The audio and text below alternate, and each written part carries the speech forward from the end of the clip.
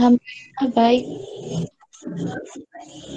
Ya, kembali sama Ibu. Hari ini kita akan belajar mengenai tema 7, peristiwa dalam kehidupan dan subtema subtema 1 yaitu peristiwa kebangsaan masa penjajahan.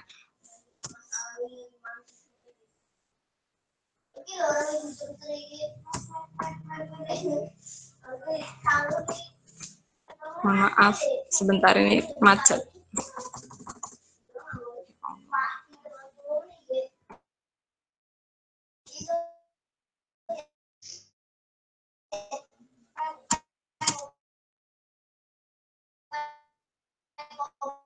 Oke,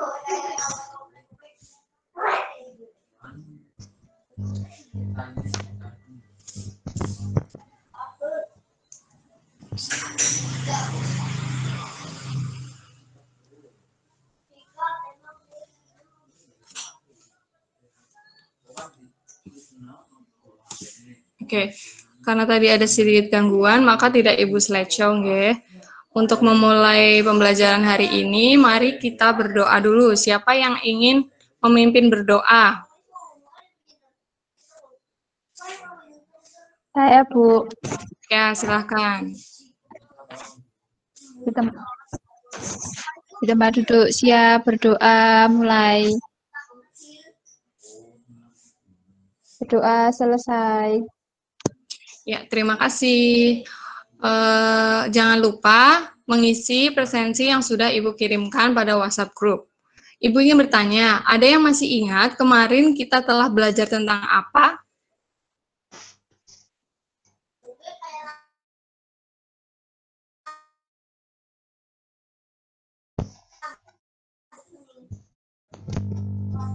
Peristiwa, yang menyenangkan, yang menyenangkan, Bu.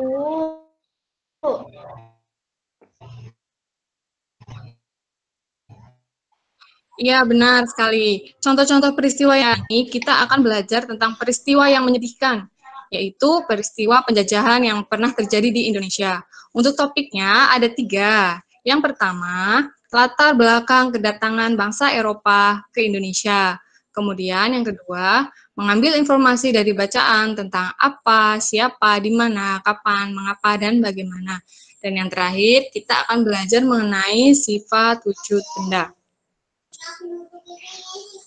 Agar pembelajaran kali ini berjalan dengan semangat, mari kita nyanyikan lagu Indonesia Raya bersama-sama.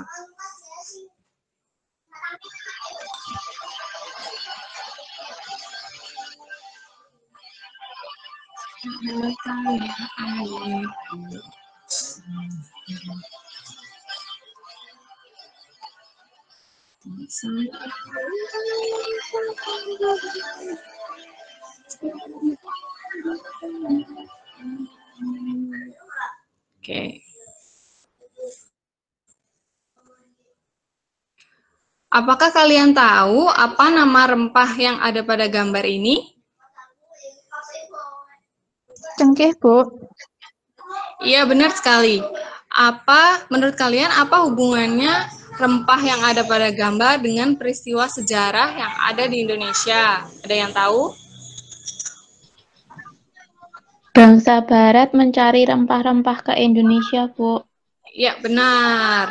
Untuk itu, mari kita buka lembar kerja pertama yang sudah Ibu kirimkan pada WhatsApp group. Sudah atau belum? Sudah. Sudah. Oke, mari kita amati video kedatangan bangsa Eropa ke Indonesia.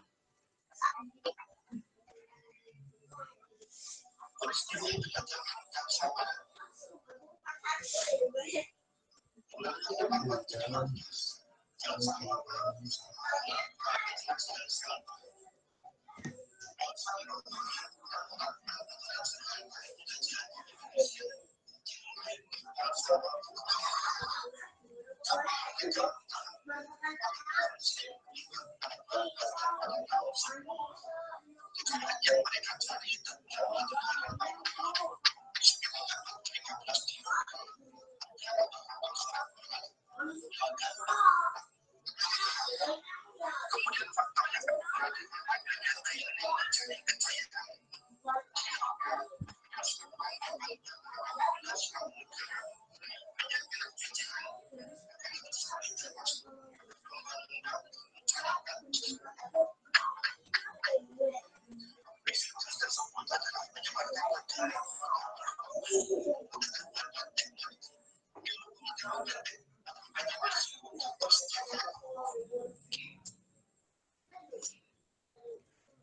Oke, tugas kalian pada LKPD adalah setelah mengamati video yang tadi Ibu setel, kalian simpulkan apa saja faktor-faktor yang mendorong bangsa Eropa datang atau melakukan penjelajahan samudra.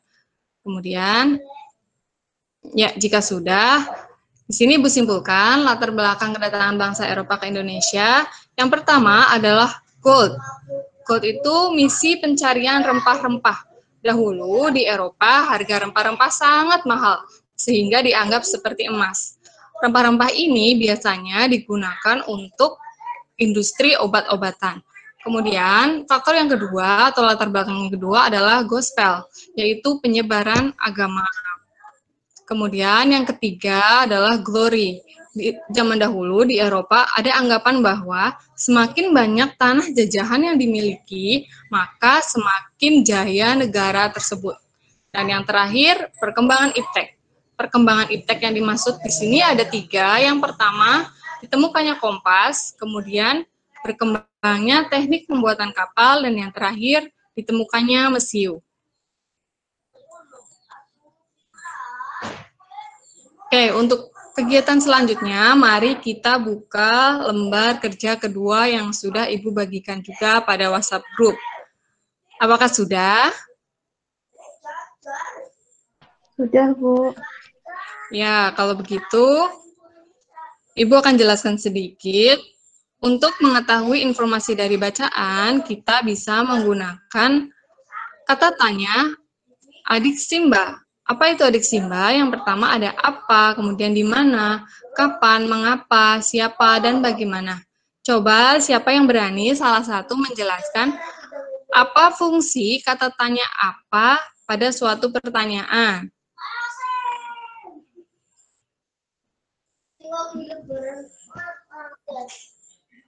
Biasanya kata tanya apa digunakan untuk menanyakan suatu topik. Kemudian kalau di mana biasanya menanyakan tentang apa ya?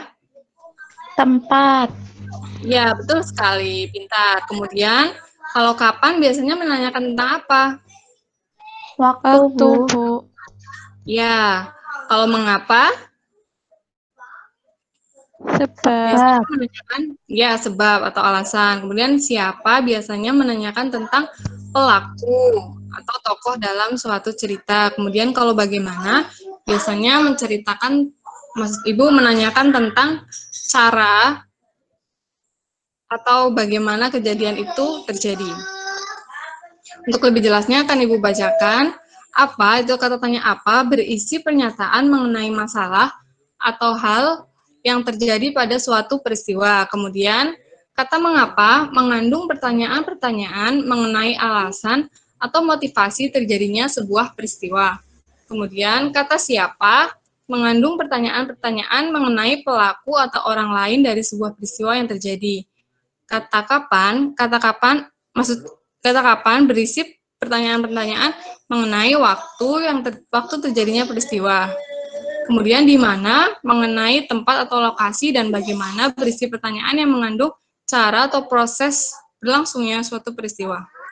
Di sini Ibu punya cerita tentang kedatangan bangsa Portugis di Indonesia. Oke, siapa yang akan yang berani untuk membacakan paragraf pertama? Saya, Bu. Salah satu saja. Iya, silakan baca paragraf pertama saja. Pada tahun 1511 dari India, bangsa Portugis mengirim ekspedisinya di bawah pimpinan Alfonso de Albuquerque mengikuti perjalanan para pedagang Islam. Pada tahun itu juga Portugis berhasil menduduki Malaka, pusat perdagangan Islam di Asia Tenggara. Kemudian Portugis tiba di Ternate atau Maluku tahun 1512. Awalnya masyarakat Maluku menyambut baik dan saling berebut menang. Kemudian agar Portugis dapat membeli rempah-rempah dan membantu masyarakat Maluku menghadapi para musuh. Ya, terima kasih. Ada yang berani membacakan paragraf kedua? Saya, Bu. Iya, boleh. Silahkan.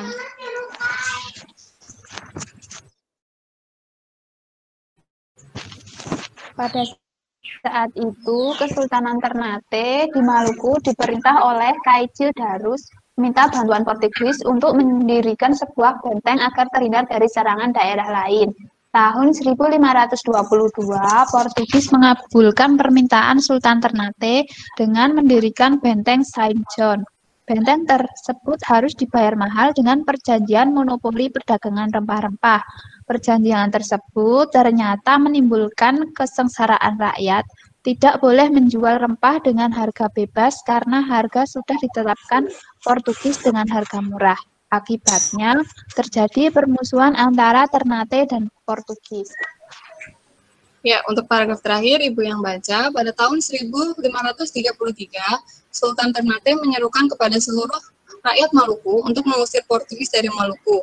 Pada tahun 1570, rakyat Ternate dipimpin oleh Sultan Hairun dapat kembali melakukan perlawanan terhadap bangsa Portugis, namun diperdaya oleh Portugis sehingga akhirnya tewas terbunuh dalam benteng Dursete. Selanjutnya, peperangan dipimpin oleh Sultan Babula selama lima tahun, membuat Portugis harus angkat kaki dari Ternate ke Tidore dan Ambon. Sekarang, Ibu ingin bertanya, adakah yang bisa membuat pertanyaan dari kata tanya 5 W1H terhadap bacaan ini? Dua saja. Siapa berani? Saya, Bu. Ya, silakan. Pakai kata kapan, Bu? Boleh. Kapan Portugis datang ke Indonesia? Ya, betul sekali. Yang lan yang lanjutnya, yang lainnya. Siapa? Contoh yang lain, Ibu akan contohkan yaitu di mana pertama kali bangsa Portugis mendarat di Indonesia. Ya, untuk selanjutnya, tugas di LKPD kalian, Ibu sudah meletakkan cerita atau mengirimkan cerita naskah narasi sejarah, kemudian kalian jawab pertanyaan-pertanyaan yang ada pada LKPD. Pertanyaan-pernyataan tersebut sama seperti yang Ibu tampilkan pada layar. Jika sudah, mari kita jawab atau diskusikan bersama-sama. Yang pertama, siapa yang dimaksud dengan bangsa Barat? Ada yang bisa? Saya, Bu. Ya, boleh. Silakan, Syifa. Yang dimaksud bangsa Barat itu ada Portugis, Spanyol, dan Belanda. Ya, betul sekali. Kemudian pertanyaan kedua, apa yang melatar belakangi bangsa Barat melakukan penjelajahan samudra? Siapa yang bisa? Saya Bu, Ya, boleh. yang melatar belakangi penjajahan samudra yaitu gold, gospel, glory, dan perkembangan iptek. Ya, betul. Kemudian pertanyaan ketiga, kapan bangsa Barat mulai melakukan penjelajahan samudra? Saya, Bu. Ya, silahkan. Bangsa Barat mulai menjelajahi samudra pada akhir abad ke-15.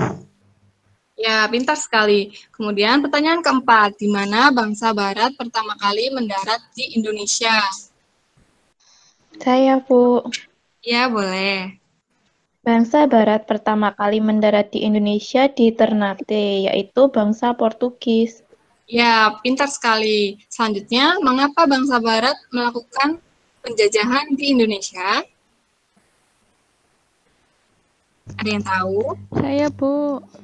Ya, silahkan. Karena Indonesia mempunyai sumber daya alam yang sangat banyak.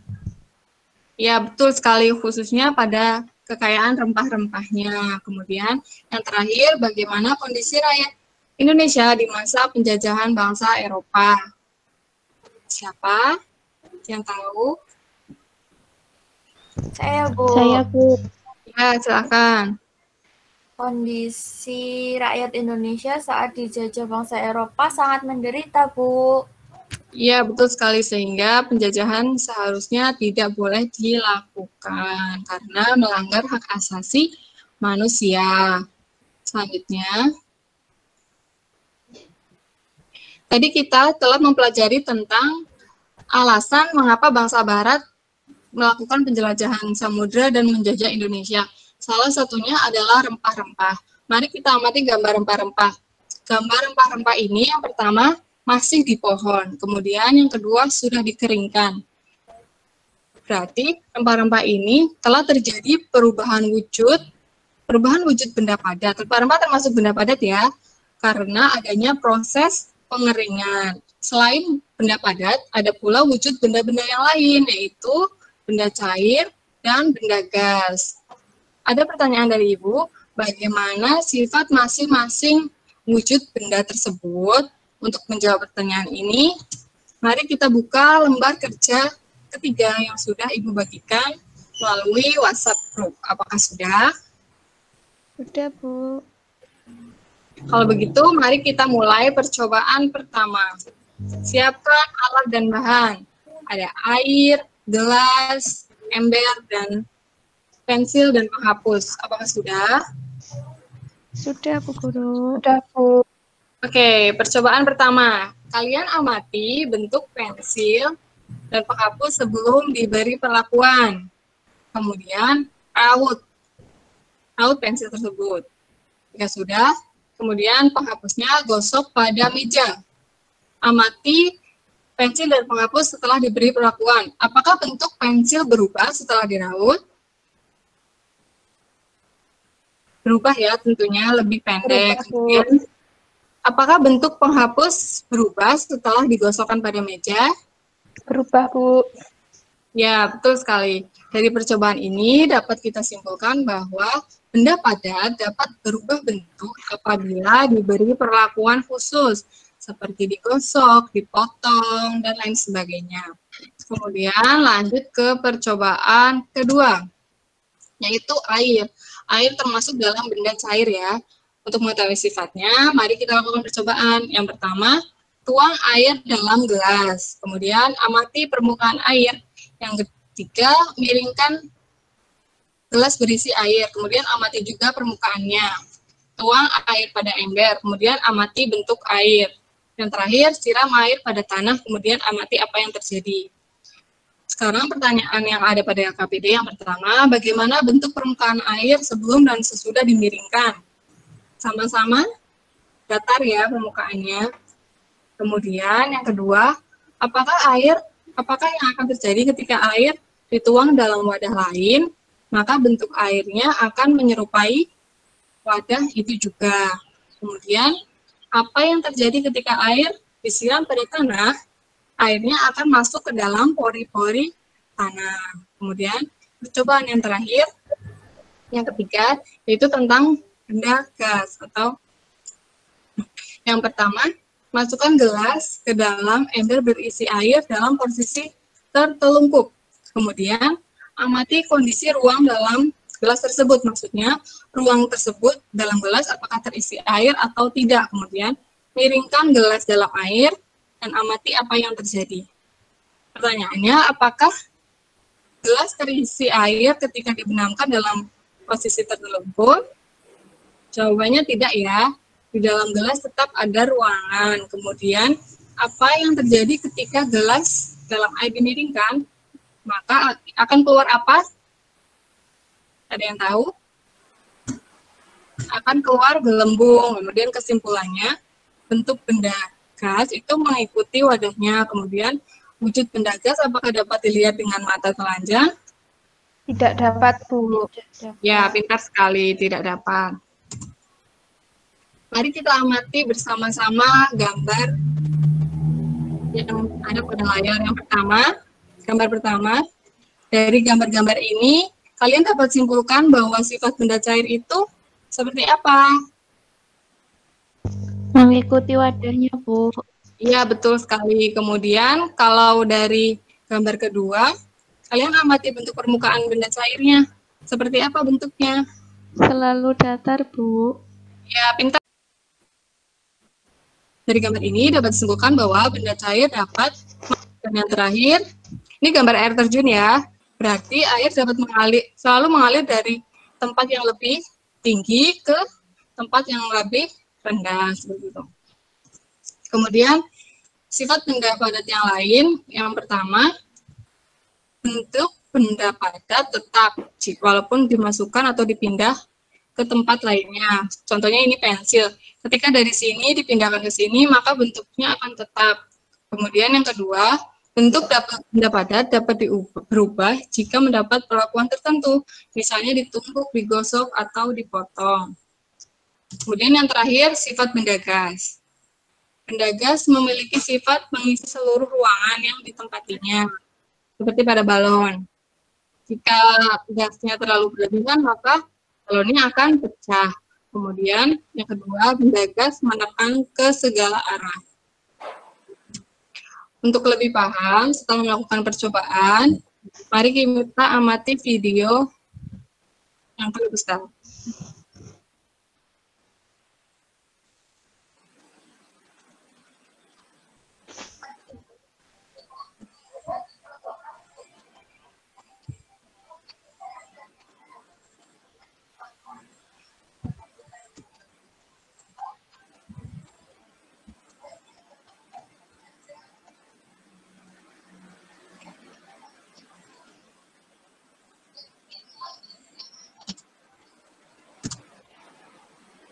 untuk hasil percobaan nanti kalian bisa buat laporan kemudian fotokan hasil dan kirimkan pada WhatsApp group. Sama seperti LKPD kedua kalian setelah menjawab pertanyaan-pertanyaan kalian jadikan seperti peta konsep kemudian fotokan juga dan kirimkan pada WhatsApp group.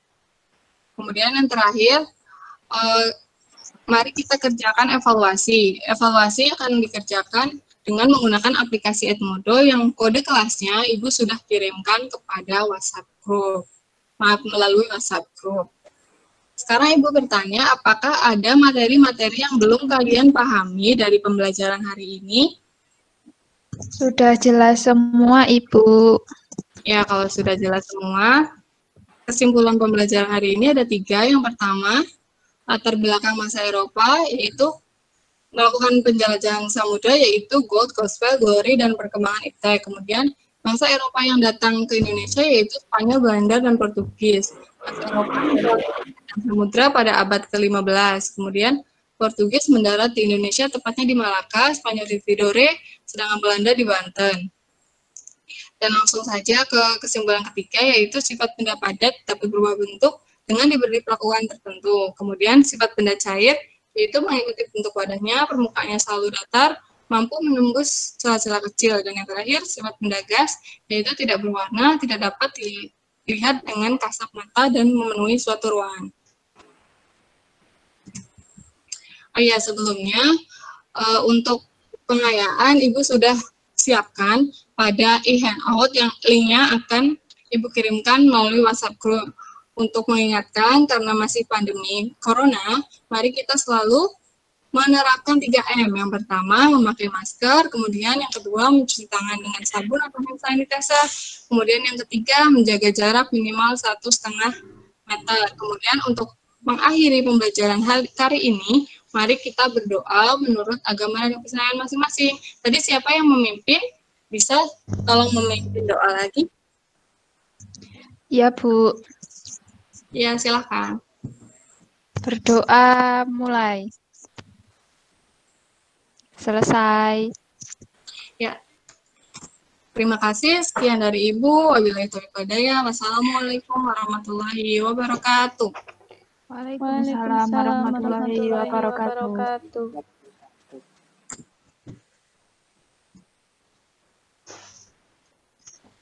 Ya, terima kasih.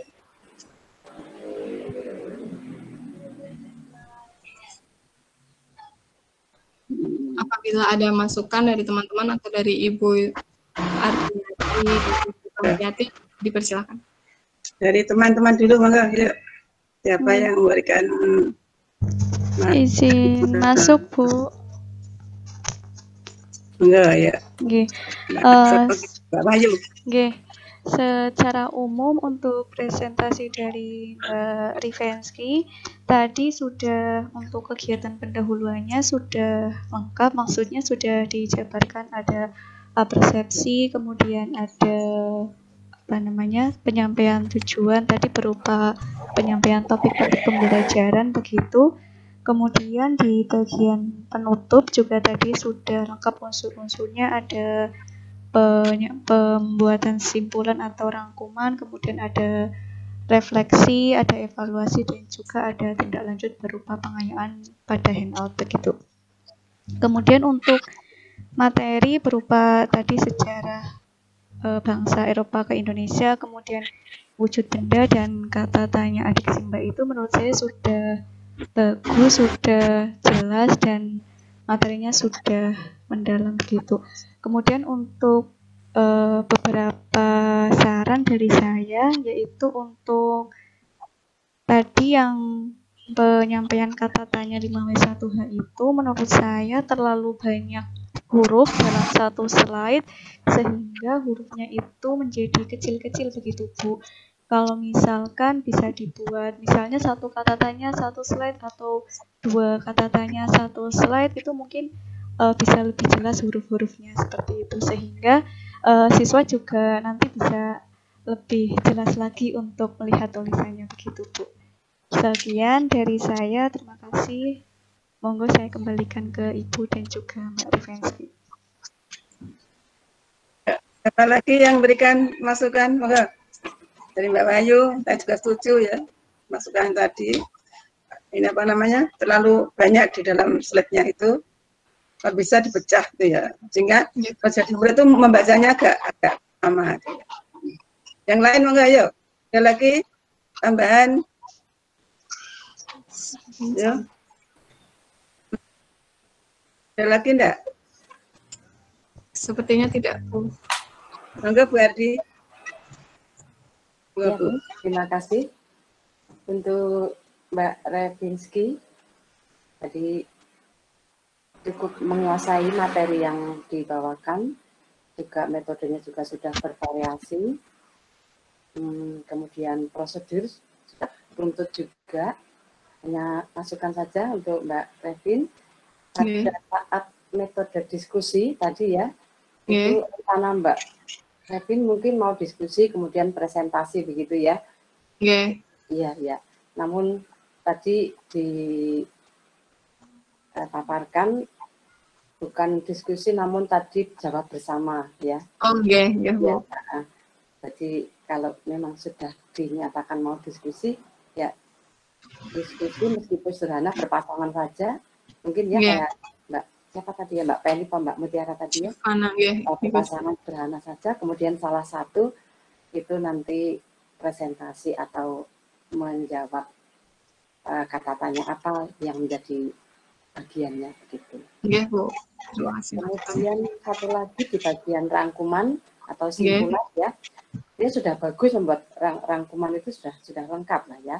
Hanya nanti pada saat tampilan seperti itu tidak hanya dibaca, tetapi mungkin melibatkan siswa ya. Oh, Mas dengan meskipun sudah ada tulisannya, tapi mungkin membawakannya Mbak Repinski tetap tetap bertanya kepada siswa sehingga siswa yeah. Uh, ada apa ya uh, memudahkan untuk mengingat karena dia dia ikut menjawab dan ikut mendengarkan temannya membaca juga atau menjawab juga. Begitu Mbak Revin. Iya, terima kasih Ibu. Ya. Selamat, bagus sudah. Itu Bu, terima kasih. Dari saya, dari awal ya Mbak. Iya Bu. Hmm di awal pembukaan ya pembelajaran awal tadi untuk masuk ke materi itu uh, harusnya ada pengantar dulu ya. Yeah. jadi harusnya menyebutkan ya tujuan belajar materi itu apa tujuannya. Kan lupa iya. tidak sebutkan ya. Lupa ya. Sebenarnya tadi saya sudah menyebutkan, tapi secara singkat mawon Bu tentang nah, apa seperti itu, tidak seperti yang di RPP. Jadi tadi manfaatnya itu seperti yang kemarin disarankan Bu Ardi tadi ya. Manfaat yeah. belajar apa tuh? Ini kan membahas apa namanya uh, zaman dulu ya. Yeah. Barah. Yeah. Nate ya, saya pernah ke sana ke Benteng Oren Benteng apa itu pernah ini mana saya di Mate itu ya. Terus ini misalnya juga tentang rempah-rempah ya. Anak-anak sekarang tuh nggak tahu rempah-rempah loh Mbak ya. Iya, tahu. kira-kira?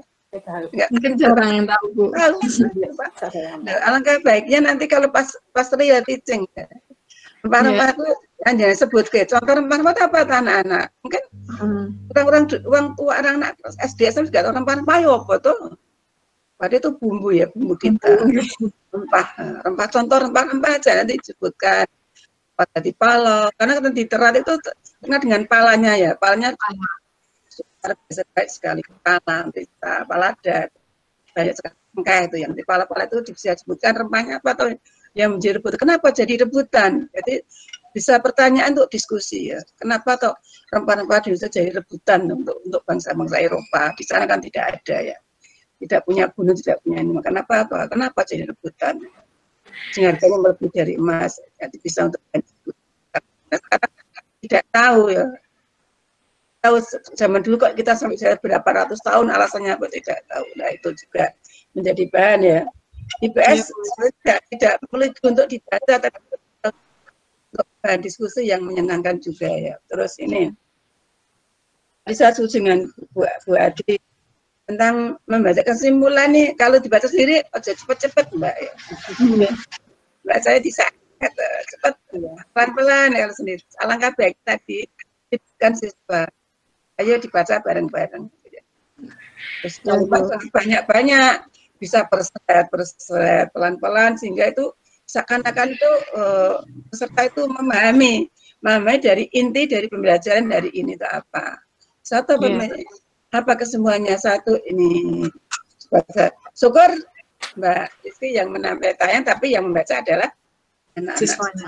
Iya. siswanya itu. Ya. Bareng-bareng apa-apa yang lain sama dengan tadi dari Mbak Mbak Wahyu Bu Adisa setuju ya itu aja dari dari saya Terima kasih, Bu. Hmm. Enggak, ada ada tambahan lain, enggak. Ada tambahan. Hari ini yang tampil lima saja.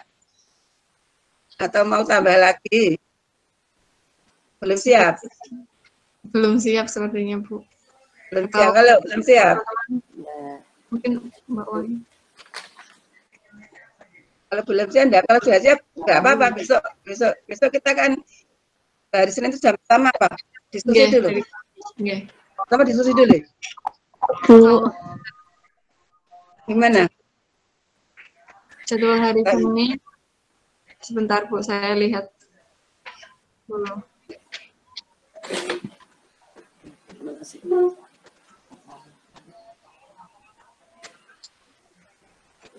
Kalau jadwal hari Senin langsung pres, langsung ini Bu, peak teaching jam 8 sampai Jam meeting sampai dengan jam jam sampai 12. selesai ya, sampai selesai. Nggih, sampai Saya selesai. rampung ya, rampung ya 5 sampai 11 itu. Sepertinya Rampung selesai ya? Bu. Kalau satu orang setengah jam bisa. Rampung ya. Terus setelah itu anu ya, apa itu eh, upload upload munggah Nggih. munggah produknya ini ya. Nggih. Apa mudah rampung. Ya. Kalau tidak ada persiapan ya ya tidak apa-apa. Kalau ada persiapan ini satu besok setengah 12 selesai itu loh ya. Mungkin Mbak Retno Mboten. Oke, mungkin itu Bu. Besok saja nopo Bu. Maksudnya untuk hari ini biar melengkapi LK dulu yang sudah maju kan Oh, ada iya, iya, beberapa yang- seperti itu. Jadi Ya, bisa untuk LK-nya belum rampung ya. nggih, melengkapi LK yang hari ini begitu Bu. Ya enggak apa-apa. Kalau kita nggak sampai jam 5 enggak apa-apa ya. Nggih, Bu. Oke, mboten apa-apa Bu. Ya, tugasnya dengan sudah rampung, tinggal nanti yang sudah selesai tolong di, di crop ya di apa.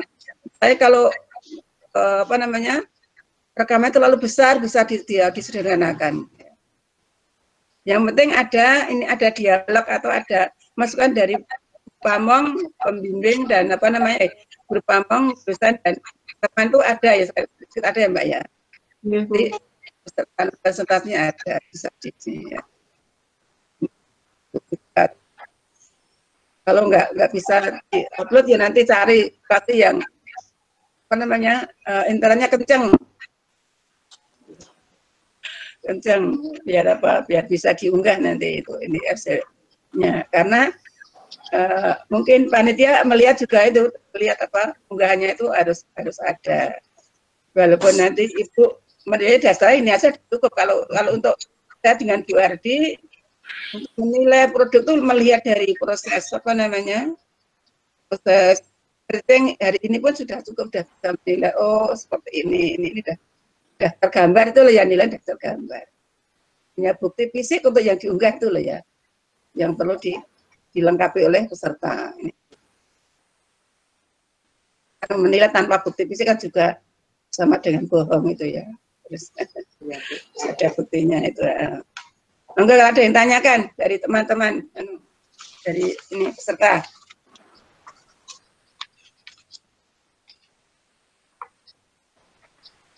Tidak ada? Kalau tidak ada, bagaimana kalau kita tutup saja ya? Atau diskusi lagi? Maka diskusi lagi tidak apa-apa. Mungkin ada ditanyakan untuk pagi. Uh -uh. Silakan. Jam 8 itu langsung ya, langsung mulai ya? Ya, besok langsung mulai peer teaching. Sampai jam 12 rampung. Jadi kita mulai jam 10 ya, 10, 11, 12. Jam 10, 15 gitu. 10 sampai 5 ya rampung ya besok. Kalau nggak rampung ya apa, mundur sampai jam setengah satu nggak apa-apa. Sisanya nanti biar mereka untuk menyelesaikan untuk anu upload itu mengunggah itu kan juga nggak nggak nggak nggak nggak apa namanya nggak sederhana itu mengunggahnya juga ya pengalaman yang dulu itu juga saya menunggu satu hari yuk hari berikutnya belum rampung kok tidak diuyak-uyak eh nanti upload manunya karena ini kan kita kan harus menilai tuh Bu ya. Iya. Kalau menilai tidak ada buktinya kan juga nanti disalahkan oleh oleh oleh Pak Ibu nanti. Iya itu. Mari adik-adik nanti disepakati Ya, kita. Ya, enten Bu, Bu, Bu Adri, enten formatnya mangke ya, tapi bisa di grup itu Oh, iya. oleh ini ya. Jadi LK untuk guru pamong, LK untuk untuk untuk desa nada. Kan jenengan mungkin bukanya bisa buka nih kan mungkin hari hari Rabu atau hari hari Selasanya baru bisa dinilai karena Selasa kan Senin kan masih masih Iya, berdiri masih masih berdiri masih memperbaiki apa masih Iya. mengkompres mengkompres mengkompres masih itu di- masih dis- disederhanakan dulu dibuat Iya. biar nggak terlalu gede ya anu apa namanya eh, biar nggak terlalu besar tuh biar di, di- dikecilkan nggak apa-apa mungkin hari Rabu atau Kamis bisa baru bisa bisa menilai produk produk peserta ya.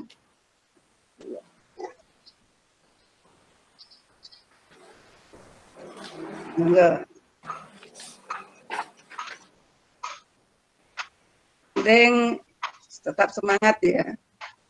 Semangat, jaga kesehatan, walaupun hari Rabu. Aku ini mulang loro ya Mbak, hari Rabu itu yang ngajar dua kelas. eh. Nanti Rabu itu apa presentasi? Jadwal apa Rabu Mbak? Rabu apa jadwalnya? proposal Rabu presen- presentasi. Ya, Rabu itu presentasi. jam 8 sampai jam 9 itu web meet pengantar pembelajaran lalu jam 9 sampai 10 penyusunan penyusunan proposal PTK bab 1 sampai pukul sampai pukul 12 Bu itu penyusunan proposal. Lalu jam 11 mulai presentasi. Oke. Pagi ya tak tinggal mulang saya. Ya. Jam berapa aja berapa tuh? Jam jam sepuluh, Jam 10 itu masih penyusunan, Bu. sembilan, Sembilan sampai Penyusunannya dari jam 9 sampai pukul 12. penyusunan. Iya.